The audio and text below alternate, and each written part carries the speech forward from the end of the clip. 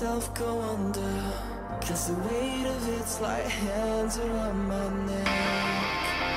I never stood.